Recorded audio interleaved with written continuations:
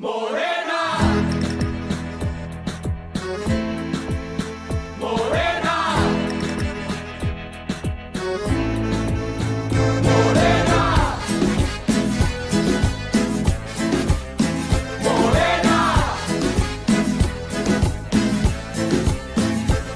Raza de bronce de piel morena, pueblo de México en general. Vamos unidos a la faena por la regeneración total. Para lograrlo se necesita no más tu credencial de elector. Piensa en la patria, recapacita y cuida tu voto libertador. Que la derecha ya no descuadre el resultado de la elección. Para que no nos vengan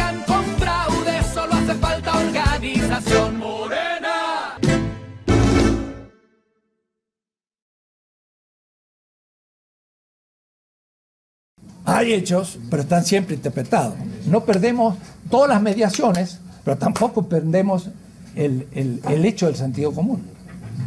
Estos son los debates, en último término, con eh, los postmodernos, que son modernos todavía.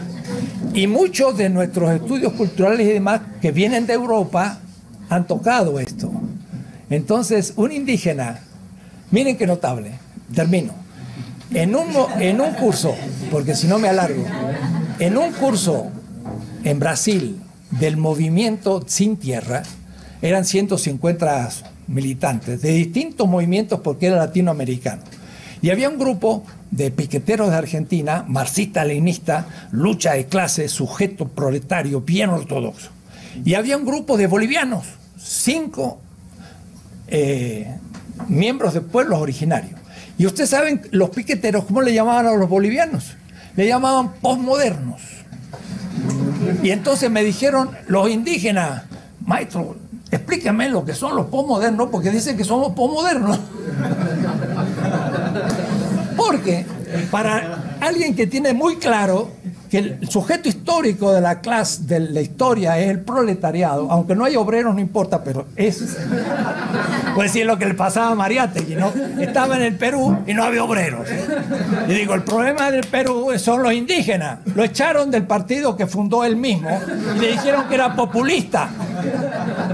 Porque no dijo que eran los obreros. Dice, ¿cómo voy a inventar los obreros si no hay... Bueno, los piqueteros son bien así ortodoxos. Y entonces, como los bolivianos decían, la nuestra es una revolución cultural, entonces veían la diferencia y creían que eran posmodernos. ¿no? Y entonces me decían, ¿qué significa eso posmoderno?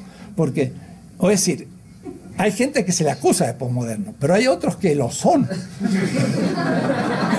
Y, él- y los que lo son critican la razón porque la razón dominadora de Europa la hemos sufrido y son entonces eh, compañeros y nos sirven.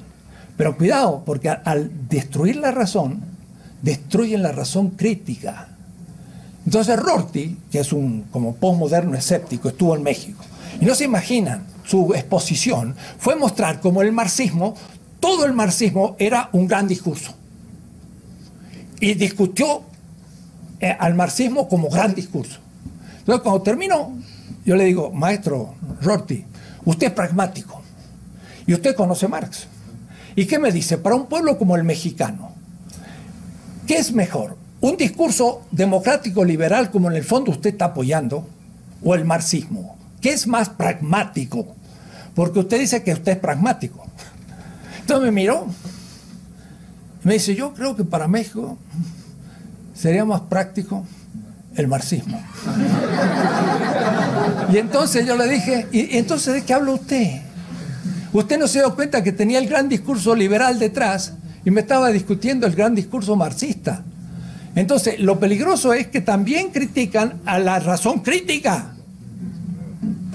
Y la razón crítica es bien razón, porque tiene que partir de un humanismo, como nos decía ayer un haitiano, en que todos somos humanos, primero, y luego diferenciados, y tenemos derecho a ser diferentes.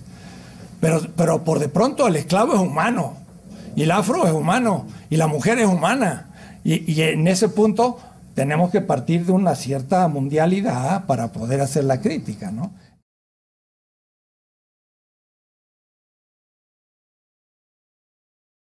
Hay que hacer el diálogo y para eso la traducción, porque la feminista descubre de pronto que, ah, claro, la mujer, pero las más dominadas son las mujeres de color. Y las más dominadas son las mujeres obreras que le pagan mal. Y las más dominadas son las indígenas. Y entonces la feminista de pronto empieza a asumir todas las otras. Y cada uno hace lo mismo. Y ahí es donde surge el proyecto hegemónico, donde uno es muy respetuoso, diciendo, mire, yo lucho por la clase obrera porque estoy en la Ford y me han, eh, estoy en el sindicato. Pero si hay un movimiento feminista, pues lucho al mismo tiempo. Y si hay un... Se da cuenta, es decir, empezamos a masajear los temas y, y se, se logra un proyecto de semejanza, por eso. Donde entendemos lo de los otros. Y esto es la traducción. Eso es el aporte de Boaventura. Diálogo y traducción. Pero, como Boaventura es un posmoderno crítico del sur, pero posmoderno. Entonces, eh, que no le hablan a usted del proyecto futuro. Porque ese proyecto se va haciendo de la marcha, pero no lo anticipemos y por lo tanto no lo nombremos, porque el postmoderno no le gusta nada que sea universal. Y yo estoy de acuerdo, y por eso que yo no hablo de universalidad, sino de semejanza. Pero entonces es lo contrario de Laclau. Laclau propone un proyecto, pero es casi unívoco. Concreto, pero unívoco. Es un universal concreto. Y el mío, contra Boaventura, digo, necesitamos un proyecto que una todas las fuerzas. Pero no es universal, sino es por semejanza. En mi posición lidia con las otras dos. Y en la línea que tú estás diciendo, que, que yo puedo entender perfectamente la reivindicación de la mujer y de la mujer de color y también de las razas y de los pueblos indígenas, donde está todo junto. Porque ahí se da el color, pero también se da la cultura y los saberes despreciados. Y bueno, y ahí se dan muchos otros desprecios en, en una cultura completa, porque se niega su organización política, su relación económica, su concepción del derecho, porque ya un pueblo también que tiene toda una visión del mundo. Todo eso tiene que incorporarlo. Si una feminista no toma la reivindicación de un pueblo originario, se transforma en una feminista blanca y, si es en Estados Unidos, yankee, que no entiende nada de lo que está pasando y entonces con todo eh, derecho va a Irak y le da una conferencia a las mujeres como hay que liberarse. ¿Cómo usted ahí, blanquita de Estados Unidos, le va a venir a decir a una mujer musulmana cómo tiene que liberarse? Usted lo que le puede decir, ¿cómo se liberó usted de sus machos? Y a ella decirle, bueno, parten de su cultura, agarren el Corán, estudien hermenéutica y desde el Corán justifiquen que el profeta no estaba en contra de las mujeres. San Pablo. A Pablo dice a la mujer que esté cubierta y ta, ta, ta, pero le dio el principio de su liberación, al decir, no hay ni hombres ni mujeres, ni griegos ni paganos, ni esto ni lo otro. Es decir, que él ya habló de que no había diferencia. Sin embargo, al esclavo le dijo, sigue siendo esclavo, pero una cosa, ese esclavo se, creía como el emperador, el emperador en Roma era el único hijo de Dios. Hijo de Dios era el emperador. Y los mesiánicos estos le dijeron al esclavo, tú eres hijo de Dios también. Ah, yo soy hijo de Dios. Y le dice, sigue obediente. Pero ya, y eso lo explica muy bien Agamben, siguió siendo esclavo como si no lo fuera. El como si no empieza a funcionar. Es decir, no le critica la esclavitud porque también él es un hombre limitado, con una mujer si fuera, que no puede tener clara conciencia de todas las dominaciones que se sufren. Pero le da un principio en que va en su momento a destruir esa dominación. Entonces es un, una toma de concientización. Otro concepto puramente latinoamericano, no existe ninguna otra cultura inventada por el movimiento brasileiro y sobre todo Paulo Freire. No es lo mismo tomar conciencia que hacer un proceso de toma de conciencia. Entonces, a la mujer se la dejó sujeta al macho en San Pablo. Pero eso le dio un principio crítico que, que cuando va a durar mucho tiempo para poder llegar a tomar conciencia histórica, porque casi fue al fin del siglo XIX de manera masiva, aunque hubo mujeres en la historia que se anticiparon, pero fueron frustradas por el medio. Sor Juan Inés de la Cruz es un caso magnífico de liberación de la mujer, pero la sufrió y al fin ni se casó para no tener un macho y terminó teniendo un obispo como monja. Así que peor casi todavía. Entonces, la pobre estuvo pésimo, ¿no? Pero le, dio duro, ¿no? Hombres que acusáis a la mujer sin razón, en fin.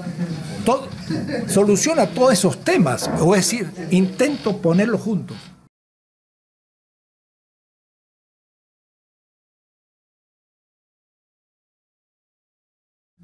Y en el horizonte mítico, que es el horizonte metafórico donde la razón humana entiende más que en el unívoco, porque lo unívoco es más preciso, pero pierde de resonancia significativa. Mientras, como decía Paul Ricoeur, el símbolo es ambiguo, pero al mismo tiempo tiene muchos significados. Y además en cada etapa histórica se lo puede releer desde la etapa histórica y tiene un nuevo sentido. Es decir, no solo el mito significó el trabajo del que produce el mito, sino hay un trabajo del lector. Y, la lectura del mito es siempre nueva, porque siempre es releída de una situación distinta, es una riqueza mucho mayor que el concepto unívoco, pero tiene menos precisión y quizás menos eficacia inmediata, pero lo tiene a largo plazo, en fin. Hay una ventaja de la razón mítica sobre la razón filosófica o científica. Por eso que también hay que ciertas cosas situarlas en un espacio mítico que es racional pero simbólico, y no querer, traerlo, a un espacio empírico del que usa la ciencia. Por ejemplo, hay algunos que dicen, bueno, el universo eh, tiene vida. Entonces es como la energía de la cual habla Einstein. ¡Bah! ¡Qué barbaridad! Entonces, por hacerlo muy actual, lo, lo hacen ingenuo y torpe. Einstein está en otro nivel que el nivel mítico. Y no, no debo traer un, un, lenguaje mítico a un lenguaje empírico, sino lo destruyo. Entonces, estas esta categorías son abstractas. Por supuesto, pueden ser ampliadas y entender el diálogo cosmopolita. y el cosmopolitismo significaba tomar al cosmos como parte de la política. Claro, para los griegos era parte de los dioses. Y los dioses eran el sol, la luna, los planetas, todo era divino y eso era parte de la polis. Y bueno, se puede extender a, a, todo el universo de la realidad y, y, repensarlo desde dentro, ¿de acuerdo?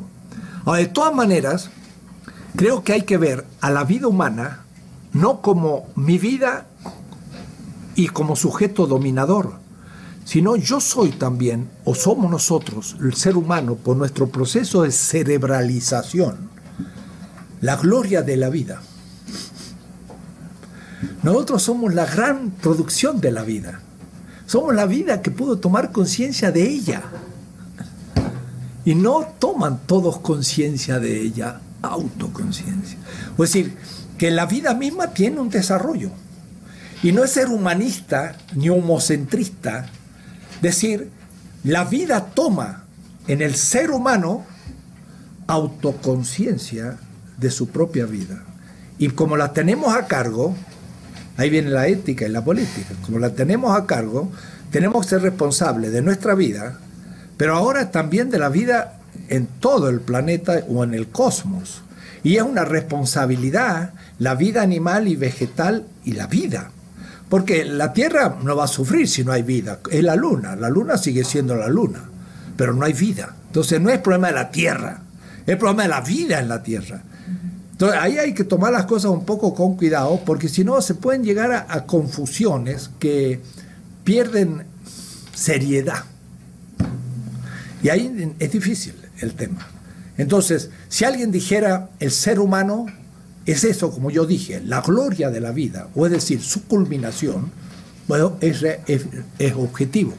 Pero alguien dice, pero uno puede hablar con las plantas y puede hablar con los animales. Sí, en un universo mítico se puede hacer. En un horizonte empírico, hablar habría que definir qué significa. pero si significa poder usar un léxico con conceptos, significa por de pronto hacer un ruido. Y si yo no tengo cuerdas vocales no puedo hablar. Entonces una planta no puede hablar, empíricamente. Pero en un universo mítico, sí, y puedo vivir ese diálogo. Pero hay que, hay que bien situarse con seriedad. Si no, llegamos a decir estupideces. Y eso es, es a veces lamentable. Gente que traduce un lenguaje a, a otro horizonte y entonces no, no, no, no, va a convencer a, a un, un- un- a una civilización o a personas que no tienen experiencia de situarse en el horizonte mítico, lo han perdido. Son humanos con menos cultura. Pero hay gente que no tiene universo mítico, lo ha perdido, nadie se lo enseñó. Y entonces, ¿cómo yo le transmito eso? Lo único que tendría que hacer es traerlo a una comunidad, hacer que, que viva la experiencia, que la vaya tomando con respeto y después de mucho tiempo empezar a abrirse ese horizonte. No es tan fácil, pero es, es muy, muy rico, es muy humano y no hay que perderlo. Pero eh, yo estoy actuando con mucha... No, no hay que pasar demasiado pronto de un horizonte a otro.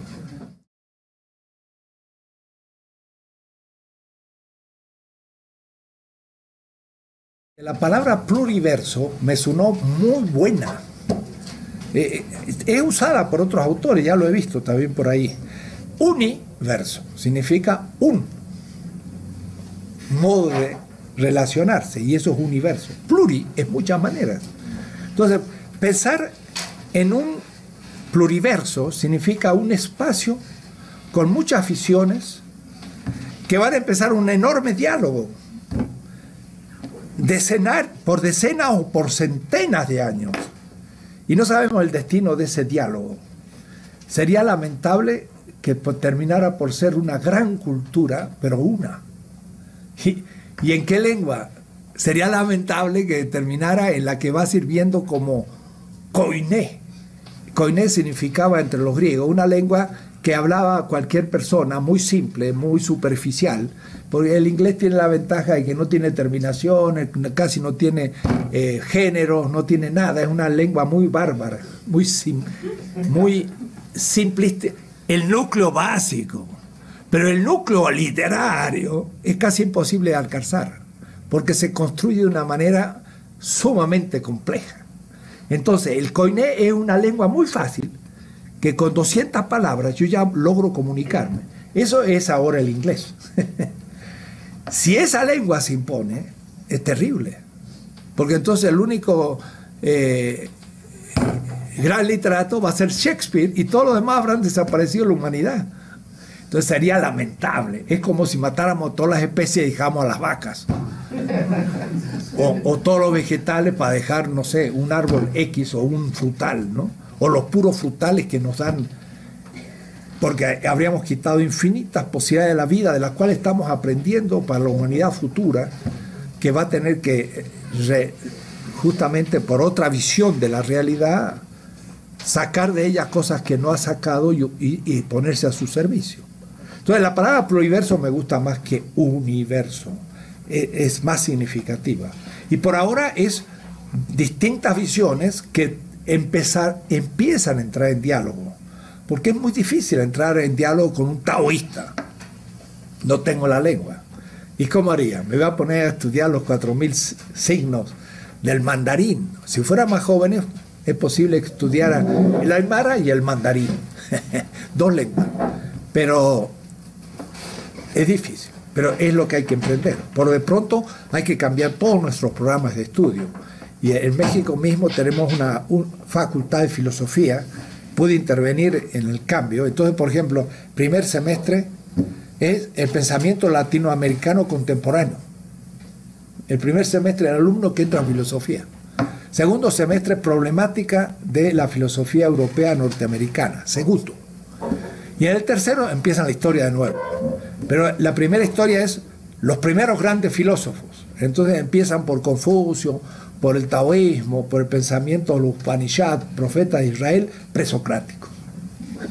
Después las grandes ontologías, y entonces ahí vienen los grandes pensadores confucianos, taoístas, Shankara, Platón y Aristóteles. Y así van avanzando en todas las culturas.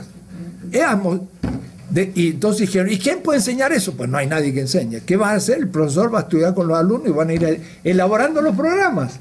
Y lo hacen, y con un entusiasmo tremendo, y lo pasan a las computadoras, y ahora se van enterando lo que es la China, la India, el mundo musulmán. En la Edad Media hay que pensar el, el- el pensamiento bizantino, el pensamiento islámico y el pensamiento eh, eh, medieval. En, en los grandes pensadores también, mire, me lo olvidaba, eh, eh, trabajamos también los amautas eh, del Incario y los tlamatines del imperio azteca y los grandes sabios de, de América también, que están a un nivel de los presocráticos, realmente ya tienen muy claro fundamentos de la filosofía futura. Es decir, podemos dar unos pasos, pero primero, pero hay que ir hacia, hacia eso.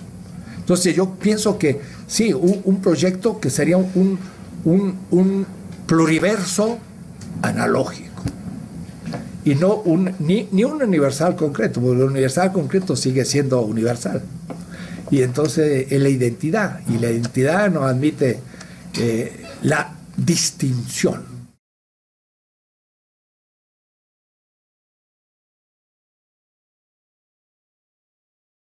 Yo creo que en esto la memoria de un pueblo, hay que ver que en realidad si tuviéramos facultades, tenemos cuatro, o, o tres por lo menos, tenemos una voluntad, sistema límbico, que, que es eh, lo afectivo, lo cordial, el sistema de interpretación categorial de los mapas del- del- de las neuronas neocorticales, que sería la racional, lo inteligente, pero casi siempre eh, olvidamos el tercero, que es fundamental. Ana Arendt también lo, que es la memoria. La memoria es una parte fundamental. Mire, cuando uno pierde la memoria, queda en amnesia, y cuando queda en amnesia desapareció el sujeto. Y si logra empezar empe- a memorizar, empieza a cero de nuevo. Y si no logra ya memorizar más, no le cuento. El sujeto desapareció, quedó su pura carnalidad física, pero no hay más sujeto, no sabe ni cómo se llama. Entonces el, el, el Alzheimer es terrible realmente. Alguien empieza a perder la subjetividad y llega un punto en que desapareció, porque no tiene memoria. Entonces la memoria es fundamental, porque todo lo que yo veo ante mí, como dice un gran neurólogo, Edelman, que se llama así el libro, se llama El presente recordado. Todo lo que yo veo aquí, el, el hermoso librito que me han dado eh, para escribir, el reloj, el agua, la mesa, el micrófono, todo surge de mi recuerdo, porque le pude poner nombre a cada cosa. Si no supiera lo que es todo esto, pues no, no sabría lo que te me enfrenta. Todo presente es recordado. Y además recuerdo, recorto aquellos son los que fijo a mi atención de todo lo otro a los que no fijo, pero que está latente, que es la memoria. Entonces la historia es fundamental para un sujeto, para un sujeto que es actor. Y, por eso también Walter Benjamin habla tanto de la historia, porque son también la historia mesiánica. ¿Por qué? Porque la historia es de los mesías.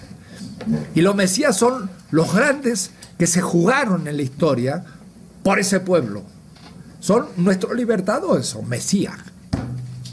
Pero ponemos a unos y olvidamos a otros. Por eso cuando estuve aquí, el, rector me, hizo entrar, dice, a, la sala de las libertadoras. Yo creí que había entendido mal. y entré y veo un- una foto de un cuadro, pero no había advertido que todos los demás estaban los otros cuadros. Eh, eh, fue una, una, una idea de Enrique, del cual yo tengo muchos recuerdos de sus 18 años cuando venía a Quito. Y le pregunté a una secretaria, ¿y Enrique sigue igual, inteligente y rápido? dice, sí, sigue igual. Bueno, el, pensar eso es ver la historia de otra manera. Surgieron nu- nuevas libertadoras. Eso es, es, es reconstruir la memoria. Claro, es que siempre hicieron eso.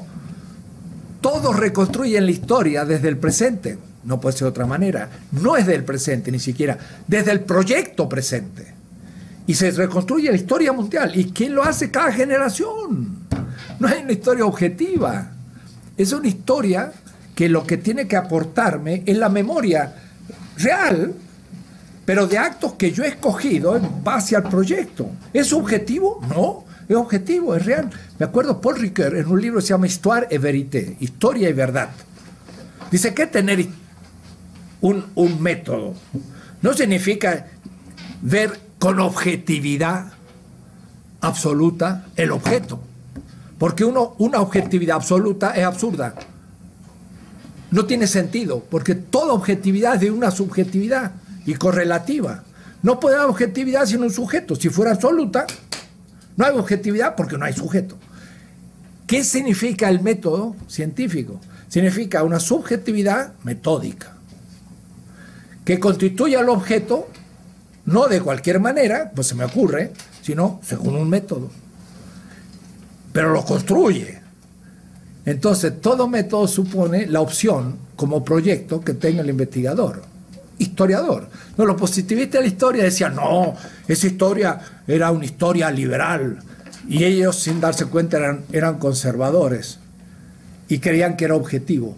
Y, y ahí, cuando empezamos a hablar de estas cosas, mire, es tan subjetiva que yo elijo ciertos documentos, y no todos, porque son infinitos. Y estos documentos, a su vez, los leo de una manera y no de todas las maneras porque es infinito. Además, yo puedo leer lo que dice, pero puedo leer lo que no dice. Y por las ausencias interpretar el texto. Puedo decir, miren, todos los textos hablan de lo, del varón y nunca aparece la mujer. Entonces, es machista, por la ausencia. ¿A dónde le voy a buscar? Ah, vamos a ir al archivo de criminalidad. Y ahí en, en, en, lo, en, los crímenes de prostitución, ahí vamos a encontrar a la mujer, el único lugar donde está presente en la negatividad. A decir que al elegir el documento, yo ya tengo un a priori subjetivo para construir el objeto en base a un proyecto. Rever la historia hoy es lo propio de un momento de reconstrucción radical de nuestras nacionalidades y del Estado.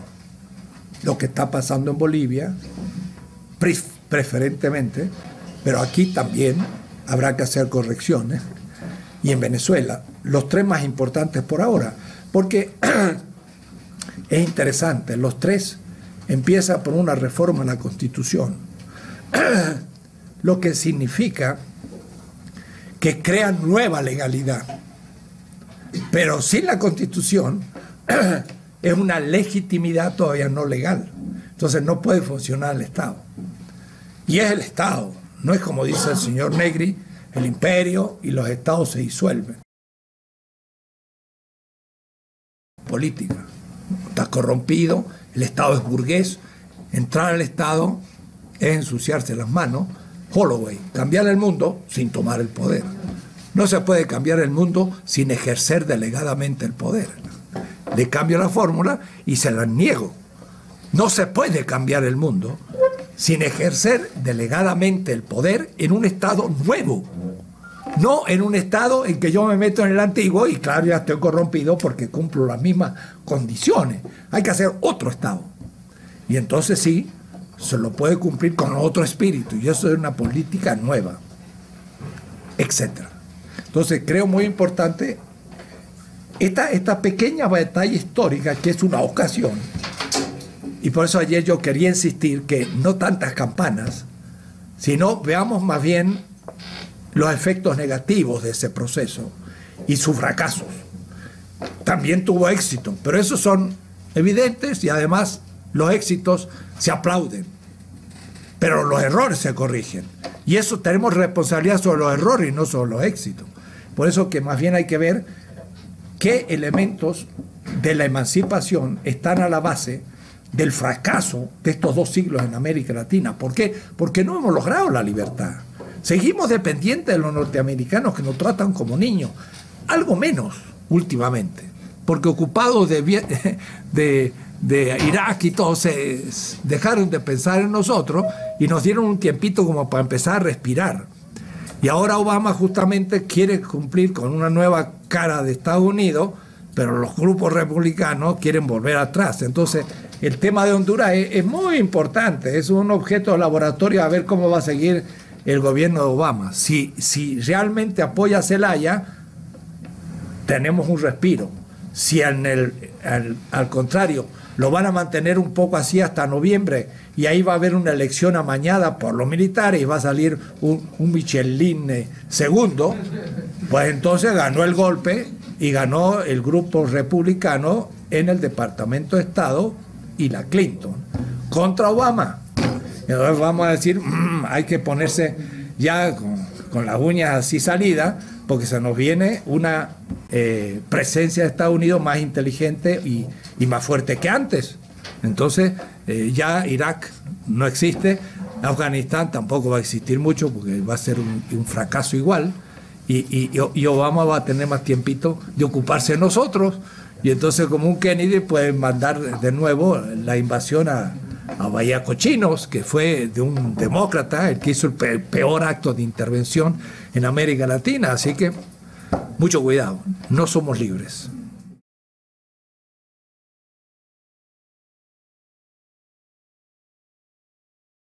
No se tiene que perder porque el movimiento tiene que seguir luchando por esa diferencia que entra en parte en la semejanza. Tiene que seguir luchando. Es decir, el, proyecto no va a ser unívoco, sino va a ser análogo. Y por ejemplo, el movimiento feminista tiene que seguir luchando porque esto es un proceso largo, no termina en año, ni en dos, ni en tres generaciones. Va a tomar muchas generaciones la liberación de la mujer y de la masculinidad. Entonces, todos ya han tomado conciencia y en las constituciones ya aparecen derechos de la mujer donde se ve que el feminismo ha influido. Pero eso por ahora es una letra. Ahora hay que hacerlo real. El movimiento tiene que seguir luchando. Ahí está la, lucha que continúa. Ahora, en el caso de la CLO, lo más grave es que él muestra muy bien cómo se construye un, proyecto hegemónico y la política en realidad es hege- hegemónica o no es política. Es decir, su pretensión y, y- acertada es que el único ejercicio político propiamente dicho es hegemónico y no hay otro. Porque lo demás es dictadura e imposición de, una violencia contra los otros grupos. Pero en, el fondo hay un... Se logra la hegemonía por la hegemonía. Y no hay contenido. ¿Por qué? Porque a él le faltan otros principios. Porque el, el proyecto hegemónico es leg- de legitimidad. Y es un poco como el habermasiano, en el sentido que está al nivel de que llegamos a un acuerdo y estamos todos en ese proyecto. Pero el contenido de ese proyecto, que es material, económico, cultural y tiene criterios también. Y eso es el contenido del proceso hegemónico, que es tan importante como demostrar cómo se logra la hegemonía. O es decir, el luchar contra una modernidad, contra un capitalismo, contra un machismo, son contenidos materiales que son los que mueven al pueblo y deben estar a la base de la nueva sociedad.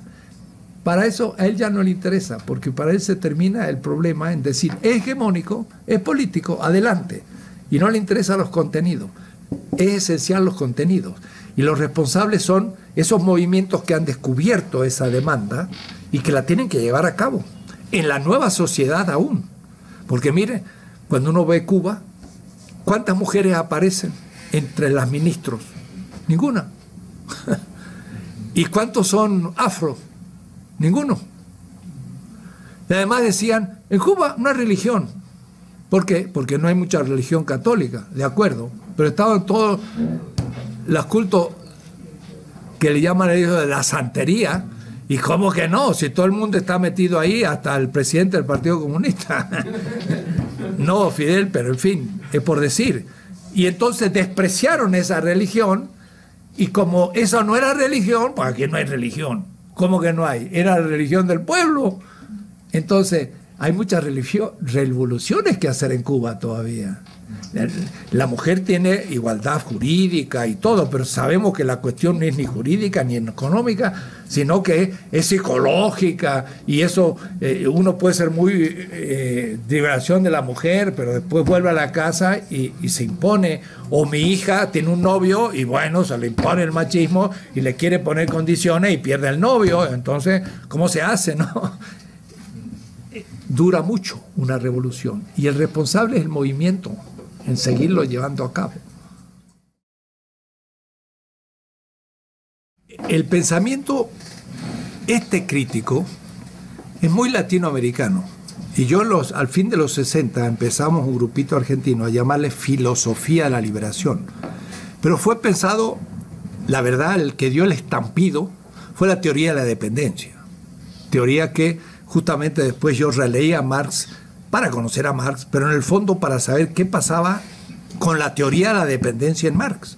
Entonces descubrí textos fantásticos de Marx que la gente no había considerado, y yo puedo decir que la teoría de la dependencia fue explícitamente formulada por Marx, y que los teóricos de la dependencia, Teotonio dos Santos, Cardoso, Faleto, nunca, ni, ni Teotonio, la formularon adecuadamente según las categorías de Marx mismo. No la, no la, no la formularon de la siguiente manera. La dependencia entre un capital global más desarrollado nacional y un capital global menos desarrollado es dependiente por la transferencia de plusvalor de un capital nacional al otro. Ninguno lo dijo así. Hasta Mauro Marini, que era el mejor, dijo que la dependencia consistía en la sobreexplotación del trabajo en la periferia. Falso. Sobreexploto el trabajo en la periferia porque como transfiero plusvalor al centro, tengo que sacar plusvalor de la periferia y lo sobreexploto. Entonces la sobreexplotación no es un efecto de la transferencia y no la causa. Se lo dije a Mauro Marini en presencia. Dijo, sí, yo dije, a ver dónde lo dijo, no lo dijo nunca. Pues sí, no, no definieron bien marxista y la refutaron no marxistamente. Agustín Cueva. Entonces en eso me tengo yo en mi posición dura. ¿eh? Pero nosotros defendimos, defendimos o descubrimos el tema de la opresión y en el caso mío de la exterioridad, del proceso de la liberación y todo, desde la económica. Era la dependencia internacional, pero después se entendió capital trabajo y fue el pobre, que, que muchos lo tomaron como una categoría mística. El mismo Cheruti me dice, pues, mira, Enrique, eso eh, es una ética pequeño burguesa, ¿no? Y me deja... Bueno, cuando leí Marx y entendí lo que era pobre para Marx, dije, no, eh, la habíamos acertado en el centro. Marx dice muy claro, cuando se enfrenta el posesor del dinero y el posesor del trabajo, antes del contrato del capital, el posesor del trabajo, el que es trabajo, negativamente, es un pobre absoluto. Y él dice, absolute Armut en alemán, es un pobre. No tiene medios de producción, no tiene nada. Lo único que tiene es su pura corporalidad viviente. Entonces, para vivir, ¿qué tiene que hacer? Vender su cuerpo. Negativamente es un pobre y dice, esto es la condición absoluta del capital. ¿Qué significa? Tengo que empobrecer al campo para que el campesino en Europa feudal y nuestro indígena llegue a la ciudad. Y a la ciudad llega desnudo, con lo opuesto. Y para vivir tiene que decir, tan, tan, ¿tiene trabajo? No, no, compañero, si el trabajo soy yo, ya lo invertimos. Tendría que decir, ¿tiene usted posibilidad para ejercer mi trabajo? Y entonces el otro dice, sí, venga para acá. Y lo introduce en capital. Esa es la subsunción. Y, pero dice, positivamente, ese pobre es la fuente creadora de plusvalor. Y usted no se imagina, esto yo lo discutí 1984 en el marxista-leninista de Berlín, quinto piso, con los que editan Marx. Es decir, los que leen Marx en alemán de los manuscritos y lo publican como libro, porque Marx está en gran parte inédito. Estaba yo trabajando en los archivos y entonces hablé con Jung Nickel, que publicaba El Capital, y me dijo, vente, vamos, hablemos de tus temas con... Y con el vicepresidente del marxista-leninista de Berlín y ocho investigadores, le planteé dos temas. Uno, de que el trabajo vivo no es la fuerza de trabajo, y les costó trabajo entender. La, la, fuerza de trabajo tiene valor. El trabajo vivo no tiene valor, porque es la fuente creadora de valor. Pero cuando yo les dije, esto va a ser absolutamente técnico, pero es tremendo. En el tiempo de trabajo, el trabajador reproduce el valor del salario. Pero en el plus tiempo, el plus tiempo de, plus trabajo, como no se le ha pagado salario, es la subjetividad corporal del trabajador fuente creadora del plusvalor de la nada del capital. Y Marx usa la palabra Schöpfung, creación. Aus de la nada. Pensamiento semita, creación de la nada. Eso no lo ha visto ningún marxista. Ni Bolívar Echeverría, que era un gran marxista. Y, todavía no me lo reconoce, estamos en discusión. Pero el- son los textos. Scheferi Schecueles aus nichts von Wertz. La subjetividad viviente del trabajador no es el fundamento ni el ser del capital, que es el valor, sino que es la fuente creadora que pone en el capital gratis más valor que a la larga es el único valor de todo el capital porque es plusvalor acumulado. De- en cuenta la fórmula que estoy usando, creación de la nada. Que Maimónides decía es la ontología del pensamiento judío, islámico y cristiano. Y Marx usa ese término. Es un escándalo, si ustedes quieren. Pero ahí, ahí se muestra entonces eh, categorías fundamentales. Pero me estoy yendo muy lejos. Surgió una filosofía de liberación a nivel económico.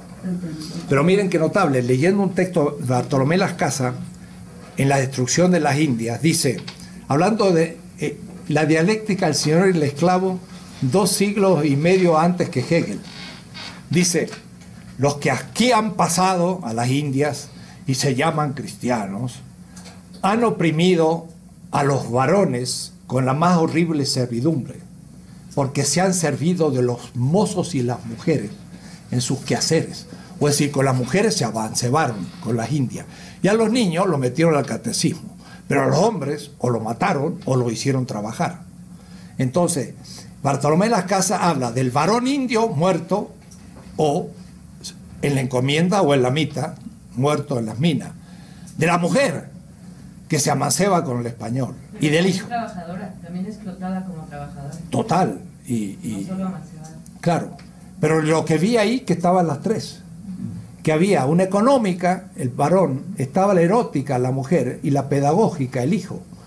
Y entonces también lo, re- lo religué con Amurabi.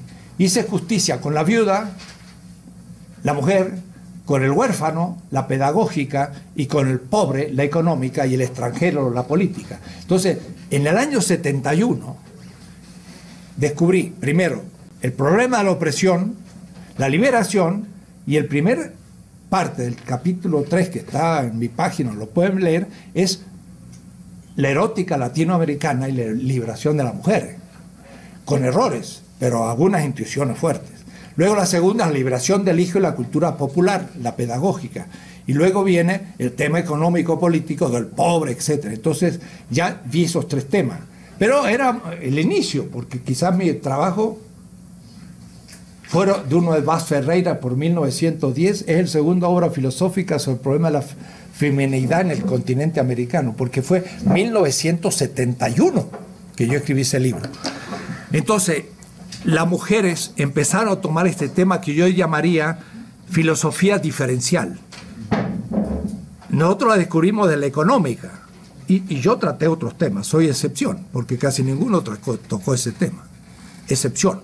Y ahí me tuve que agarrar a Freud en una escuela de psicología y con todas las compañeras, porque eran todas eh, muchachas que hacían su maestría, releímos Freud. Bah, y ahí me descubrí al Freud machista, pero leído uno por uno. Entonces, así como hay un mundo que tiene un yo pienso, en la pedagógica es un yo que enseño magistral y en la y en la, en la erótica es un yo fálico que constituye a la mujer como objeto sexual. Y, y- y eso lo, demuestro desde el- la conquista. El yo conquisto es también yo domino a la mujer como objeto y eso es malinche y ahí empieza todo, ¿no? Entonces, eh, todo eso lo he trabajado mucho. Un poco Ahora- el problema es que también hay, hay poca producción para las filósofas, mujeres, ¿no? Sí, pero ahora lo que te quiero dar eh, razón es que eso lo hice yo ahí, pero después me di cuenta que tenía que ponerme a escuchar, porque empezó la gran producción de la filosofía feminista y ha sido impresionante. Entonces, ya un- uno empieza a aprender de esa corriente. Igual que la otra filosofía diferencial, el problema de la raza. Y entonces todas estas, estas que son demanda de los movimientos sociales se transformaron en, en filosofías. Pero lo, lo más notable es que gracias a Levinas, que me mostró el otro, pero que me lo mostró con el rostro de la viuda, el huérfano y el pobre, me di cuenta de que la filosofía diferencial. Entonces, la, la mujer, por ejemplo, ha aportado muchos elementos. El primero, la sustancialidad. Ellas hablan mucho, ¿cierto? Se sustancializa.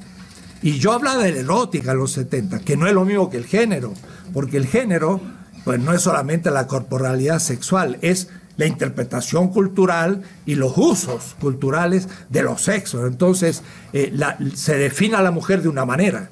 Entonces no es solamente por su sexualidad, ni siquiera por su constitución femenina a nivel cerebral y hormonal y todo, que hay diferencia física, por supuesto, entre el varón y la mujer. No, se, no puede decirse que seamos iguales, no, no somos iguales, sino entonces seríamos hermafroditas y ya terminamos el tema y no habría más que hablar. No, somos diferenciados. Pero eso se vive culturalmente y después se vive como dominación. Y entonces ahí empieza el problema del género, el, patriarcalismo, el machismo, todo lo que se va a ir haciendo. Ahora, de ahí surgió después la raza. Ahora, la clase obrera ya había trabajado su tema desde Marx. Y se va aumentando este tipo de pensamiento. Cada uno de ellos, hablando ahora de metodología, exige un método distinto, exige un marco teórico específico y autores diferenciados.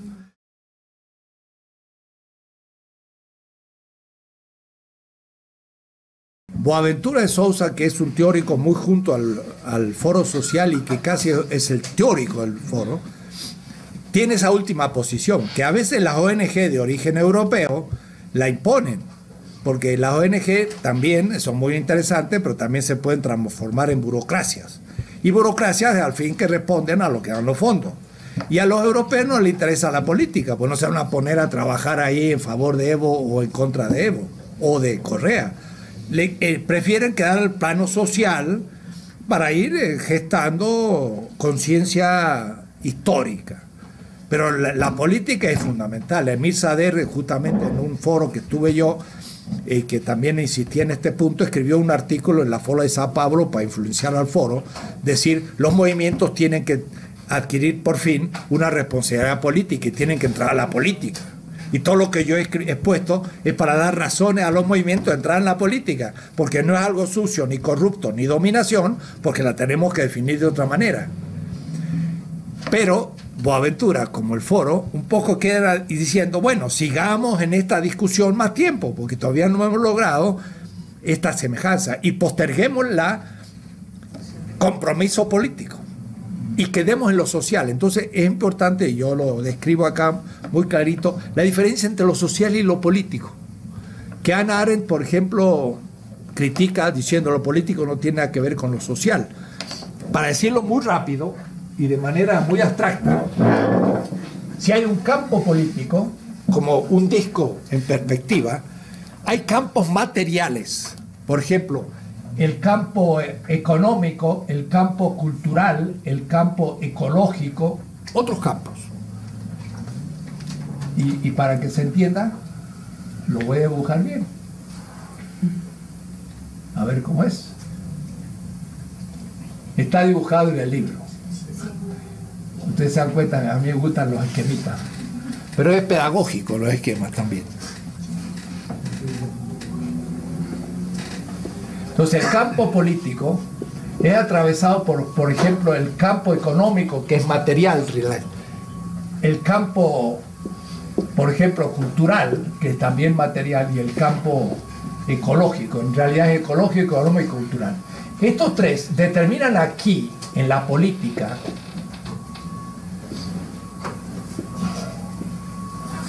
un ámbito, este ámbito de lo político que tiene otros aspectos, que está determinado por lo material.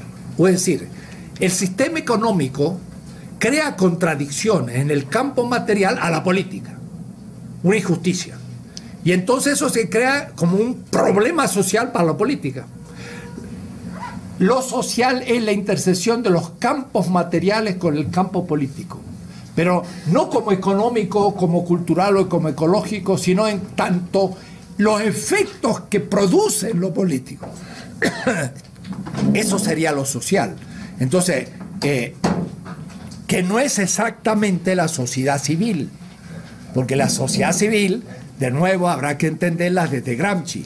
Para Gramsci, la sociedad civil es ya el Estado pero un Estado ampliado. Pero la sociedad política, el Estado propiamente dicho. Entonces, un colegio privado, aquí al lado estaban los salesianos, es para Gramsci parte de la sociedad civil, pero es ampliadamente parte del Estado en tanto que forma ciudadanos. Y como forma ciudadanos tiene impacto político. Entonces, además de una cosa pedagógica, es también actividad. Pero no es lo mismo un colegio público que uno privado. El privado puede ser sociedad civil, el público ya es parte del Estado. Y ahí entonces también tendría que darse cuenta el que participa en el Estado que tiene otra definición, porque está cumpliendo con, con otras exigencias y responsabilidades.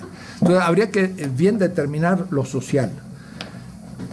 Yo digo, hay lo social, hay movimientos sociales, hay sociedad civil, hay tareas que cumplir en el orden social, pero llega un momento en que algunos miembros y algunos movimientos o alguna parte de los movimientos tienen que entrar a la política y, y se pasa el umbral de lo social a lo político, como sociedad civil act- activada, pero luego se pasa de la sociedad civil a la sociedad política, influyendo a los partidos, a, la Cámara o haciendo un partido político. Y se entra a lo político como político y no lo político como social.